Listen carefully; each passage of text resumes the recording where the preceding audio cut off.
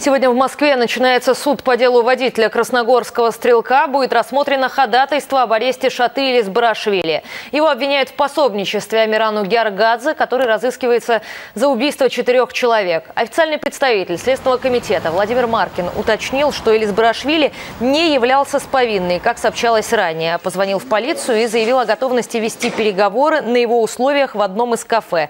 После этого сообщник красногорского стрелка был задержан спецназом. Самого Амирана Георгадзе ищут уже третьи сутки. Он объявлен в федеральный розыск. За информацию о преступнике обещано вознаграждение – миллион рублей. Несколько часов назад Надари Георгадзе, сын красногорского стрелка, принес соболезнования родным убитых и попросил прощения за действия отца. В Красногорске сегодня проходят похороны двух из четырех жертв Амирана Георгадзе, первого зама главы города Юрия Караулова и начальника красногорских электросетей Георгия Котлеренки.